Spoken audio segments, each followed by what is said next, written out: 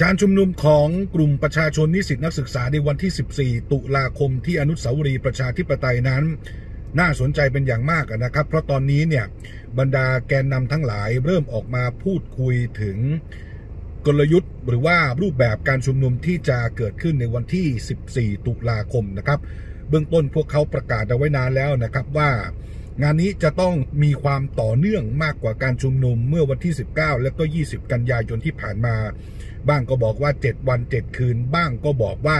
4 วัน 4 คืนนะครับคุณผู้ชมครับ ไปดูการปราศัยของอานนท์นำพาก็บอกว่าโรงแรม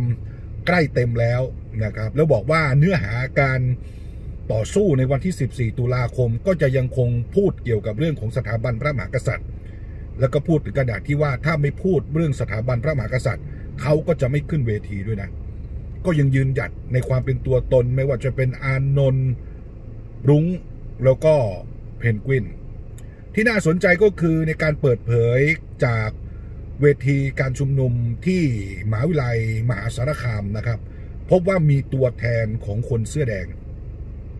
โดยระบุว่าเป็นตัวแทนของคนเสื้อแดง 20 จังหวัดภาคอีสานบอกว่า จะออกมาต่อสู้ร่วมกับ ประชาชนนิสิตนักศึกษาในวันที่ 14 ตุลาคมนะครับเพียงแต่ว่าข่าวสารที่ปรากฏออกมาไม่ได้ระบุว่า ตัวแทนที่พูดในนามของแกนนำเสื้อแดง 20 จังหวัดภาคอีสานนั้น เป็นใครเป็นใครไอ้ตรงนี้ต้องชัดเจนก่อนนะครับ คือที่ผ่านมาเนี่ยคนเสื้อแดงถ้าย้อนหลังกันไปตั้งแต่ปี 51 52 เรื่อยมาจนถึงปี 53เนี่ยนะครับคนเสื้อแดงจะมีหลายกลุ่มนะครับ กลุ่มหลักแน่นอนเป็นแดงนปช เป็นนปช มีจตุพรนัทวุฒิ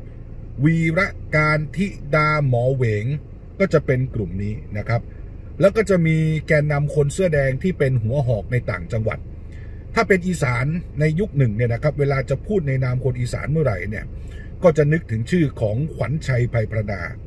แต่คนนี้ก็ถอยลดบทบาทไปนานแล้วนะครับ แทบไม่มีความเคลื่อนไหว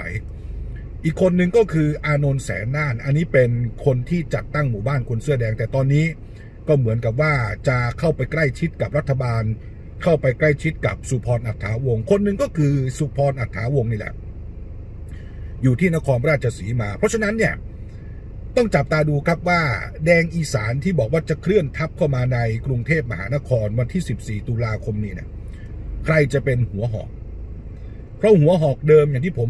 ได้เรียงรายชื่อ ถือว่าเป็นตัวละครสำคัญหมดเลยนะฮะไม่ว่าจะเป็นคุณขวัญชัยไพพรนา พร้อมกับภรรยานะครับ คุณสุพรอัฐาวงก็ชัดเจนอยู่แล้ว คุณอานนท์แสนน่าน เนี่ยเรานี้เนี่ยแทบหายไปหมดแล้ว ก็ต้องดูว่าถ้าพูดถึงอีสานเนี่ยใครจะใครจะนำนะและในขณะเดียวกันคือสมัยก่อนเนี่ยแดงกับสอสอพักเพื่อไทยเนี่ยเขาแนบชิดกันมาก แล้วก็มวลชนทำงานคู่ขนานกันเป็นอย่างดีก็คือพักเพื่อไทยคู่กับมวลชนคนเสื้อแดงนะครับ แต่รอบนี้ยังไม่ชัดเจนเลยนะฮะว่าพักเพื่อไทยจะเอายังไงกับม็อบนะพักเพื่อไทยจะเอายังไงกับการชุมนุมครั้งนี้ เพราะฉะนั้นเนี่ยภาพที่ถูกสะท้อนเนื้อหาที่ถูกถ่ายทอดออกมาจากเวทีมหาวิทยาลัยมหาสารคามเนี่ยนะครับพี่บอกว่าเป็นแดงอีสาน 20 จังหวัดก็ต้องดูว่าเป็นกลุ่มไหนอย่างไร หรือจะเป็นกลุ่มอิสระ และถ้าเป็นกลุ่มอิสระก็คือหมายความว่าลงขันกันเองใช่ไหม ที่จะเดินทางเข้ามา ซึ่งก็ไม่ใช่เรื่องเรื่องง่าย ๆ เพราะว่ามันต้องมีกำลังกายกำลังใจทุนทรัพย์ชีวิตความเป็นอยู่ หากจะมาปักหลักค้างแรม หากจะมาปักหลักค้างแรม อันนี้ก็จะเป็นคนเสื้อแดง คนเสื้อแดงอีสาน ซึ่งยังไม่รู้เลยนะครับว่าใครนำทีนี้มาดูแดงอิสระ หนึ่งในนั้นต้องมีชื่อคนนี้ครับก็คือฟอร์ดเส้นทางสีแดงฟอร์ดเส้นทางสีแดงล่าสุดประกาศกิจกรรมแล้วนะฮะว่า พวกเขาจะมาในรูปแบบแรลลี่ฟอร์ดเส้นทางสีแดงจะมาแบบแรลลี่นะครับแรลลี่ก็คือมีรถมอเตอร์ไซค์รถฮาร์เลย์รถพ่วง รถยนต์ รถอะไรก็ตามแต่ จะมาจะเคลื่อนขบวนกันแบบ มาบนถนนนะคุณผู้ชมครับ ถามว่ายุทธวิธีแบบนี้มาจากไหนนะครับ ถ้าคนที่ไม่ได้ติดตามสถานการณ์การเมืองมาต่อเนื่องนี่ก็อาจจะไม่ทราบ เป็นยุทธวิธีเมื่อปี 2553 นะ เป็นยุทธวิธีเมื่อปี 2553 คุณฟอร์ดกำลังจะเอาโมเดลการชุมนุมของคนเสื้อแดงเมื่อปี 2553 ส่วนหนึ่งมาใช้ถามว่าปี 53 มันเกิดอะไรขึ้น มันเป็นอย่างนี้ฮะคุณผู้ชมครับ ตอนปี 53 เนี่ย คนเสื้อแดงเริ่มต้นชุมนุม ถ้าผมจำวันที่ไม่ผิดประมาณ 12 13 14 มีนานะ เริ่มต้นชุมนุมประมาณช่วงกลางเดือนมีนา การออกสตาร์ทชุมนุมของคนเสื้อแดงก็คือการใช้ยุทธวิธีการเคลื่อนขบวน ไม่ใช่เดินนะครับ ไม่ใช่เดินขบวนนะครับ ก็คือเคลื่อนด้วยรถนี่แหละ เอารถมอเตอร์ไซค์นำหน้า รถยนต์รถบรรทุกรถอะไรติดตามหลัง เคลื่อนขบวนไปตามสถานที่ต่างๆ ที่สำคัญต่างๆนะครับ ไม่ว่าจะเป็นที่ของกองทัพที่ของราชการที่ของอะไรก็ตาม แต่เคลื่อนไปตามขบวนต่างๆ เคลื่อนมันจึงทำให้ภาพที่ออกมาเนี่ยมันดูยิ่งใหญ่ เหมือนกับเป็นการเคลื่อนทัพแล้วหลังจากนั้นเนี่ยนะครับคนเสื้อแดงพอเคลื่อนทัพมันดูแบบ มันดูแบบเมามันนะฮะมันดูแบบมีพลังไปตรงนั้นทีตรงนี้ทีเป็นเคลื่อนขบวนกันไป เหมือนเคลื่อนขบวนยาตราทัพอะไรแบบนั้นเนี่ยแล้วก็ไปปักหลักอยู่ที่สะพานผ่านฟ้าลีลาดก็อยู่ตรงนั้นนานสองนานนะครับจจนกระทั่งก็ย้ายไปสี่แยกราชประสงค์เพื่อยกระดับการกดดัน เพราะนั้นเนี่ยรูปแบบนี้มันคือรูปแบบของปี 53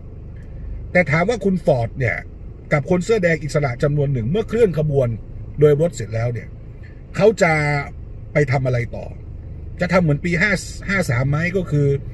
ไปปักหลักสักแห่งหนึ่งแล้วก็พอปักหลักช่วงนั้นคนเสื้อแดงก็ปักหลักอยู่นิ่งๆนะครับ แล้วก็จะวางแผนกันแบบรายวันเลยนะ วันนี้ไปทำเนียบวันนี้ไปนู่น วันนี้ไปนี่ไปอยู่นั่นแหละไปทำกิจกรรม ไม่ให้ม็อบมันตาย ไม่ให้ม็อบมันตาย มีลักษณะการเคลื่อนที่อยู่ตลอดเวลา แต่ก็อย่างที่ทราบนะครับ การทำกิจกรรมแบบนั้นเนี่ย มันต้องใช้พลังงานเยอะ และต้องมีทุนสนับสนุนเนี่ย เยอะนะครับ เพราะว่าต้องกินต้องอยู่ต้องใช้ต่างๆ นานารอบนั้นก็เป็นนปชที่บริหารหลักเลย เรื่องเงินเรื่องทองเรื่องชีวิตความเป็นอยู่ต่างๆ และครั้งนี้เนี่ย อันนี้ก็เป็นการประกาศจากคนเสื้อแดงของฟอร์ดเส้นทางสีแดง ก็ ไม่เกี่ยวกับนปชออีก นปชจตุพรยังสงวนท่าทีอยู่เลยนะครับ บอกแต่เพียงว่าคนจะมามืดฟ้ามัวดินแต่ แต่จตุพรก็ไม่ได้ประกาศว่าจะเข้าร่วมม็อบนะหรือกลุ่มของเพนกวินอานนท์เองก็ไม่ได้มีมีภาพที่ชัดเจนว่าจะประสานหรือว่าเชื่อมต่อกับกลุ่มของฟอร์ดเส้นทางสีแดงอย่างไร เพราะฉะนั้นเนี่ยเมื่อต่อจิ๊กซอในภาพรวมแล้วเนี่ยนะครับ มันต้องชั่งน้ำหนักนะ คุณผู้ชมครับมันต้องชั่งน้ำหนักว่า การชุมนุมหลังจากนี้เป็นต้นไปเนี่ยมันคือการชุมนุมของคนเสื้อแดง หรือมันเป็นการชุมนุมของนิสิตนักศึกษา หรือมันเป็นการชุมนุมของภาคประชาชนทั่วไป วันที่ 19 20 หลายคนบอกว่าคนที่มาร่วมชุมนุมเนี่ยรู้สึกว่าจะเป็นคนมีอายุมากขึ้นมากขึ้นมากขึ้น วันที่ 14 ตุลาคมนี้จะชัดเลยนะครับว่า บางคนก็บอกว่ากลายเป็นม็อบคนเสื้อแดงไปแล้วซึ่งก็ไม่ได้ผิดแปลกอะไร เพราะคนเสื้อแดงก็คือประชาชนส่วนหนึ่งเหมือนกันนะครับ แต่มันทำให้ภาพของ